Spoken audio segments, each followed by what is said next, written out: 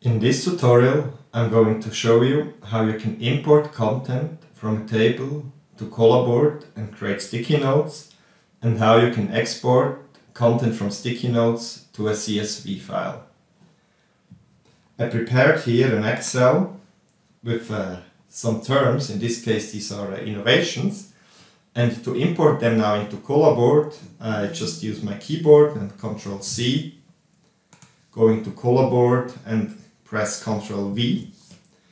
And now in this case, we created automatically sticky notes out of the rows from the table. And you see now they are all yellow.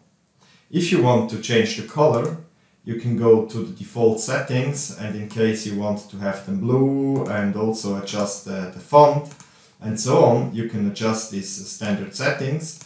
And then if you do the Ctrl V again, you have uh, the sticky notes with a different text and different colors on your board. Now to export the content on these sticky notes, you can click here on export and now you can use here the text export feature. If we do this now, we export all the content on the board as a text and that's maybe too much information. In our case, we just want to extract the information on these sticky notes. So in this case, we just select all these sticky notes and now we click here on export the selection.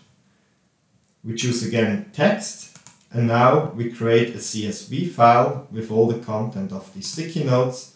So we can open now this, uh, this CSV file so when we look now at the export of the CSV from Collaboard, we see that we have a little bit more information than just the content on the sticky note. So we provide you with some background information you might use from some other purposes. But to access now just the information on the sticky notes, we need to do a few simple steps. So select all the rows, then click here on data and now we use this feature text to, to columns.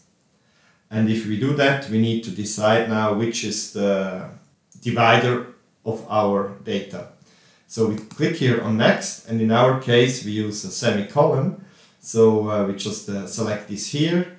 Now we click on, on finish, and you see with a few clicks, we have now all the information from the sticky notes in one row. And this is an easy way how you can export content from a Collaboard project to a CSV file and reuse this for other purposes.